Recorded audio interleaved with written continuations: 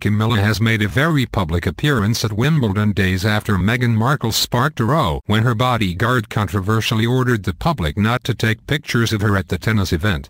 The Duchess of Cornwall met ball boys and girls and tennis players at the All England Club. Prince Charles's wife looked elegant in a white dress as she stepped out for the sporting event.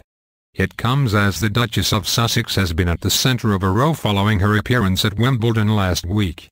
Sally Jones, who was seated near Meghan and her pals Genevieve Hillis and Lindsay Roth on court one, claimed a protection officer warned her not to photograph the royal because she was there in a private capacity.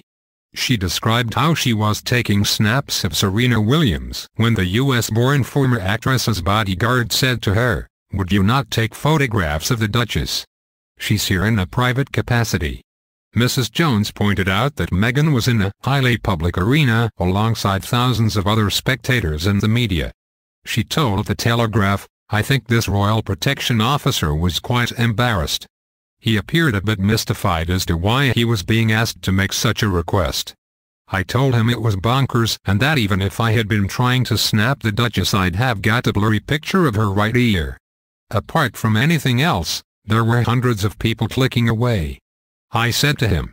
Have you thought about having a word with any of those television cameras? He looked a little uncomfortable.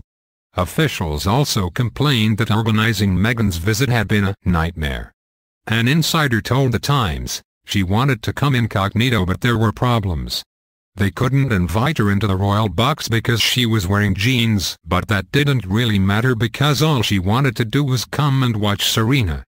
Andy Murray was on court one afterwards and it was a massive faux pas not to watch a Brit when she is signed up to the royal family. But in a statement the All England club insisted Meghan's visit had been a privilege. The royals regularly attend Wimbledon and the Duchess of Cambridge made a low-key appearance last week.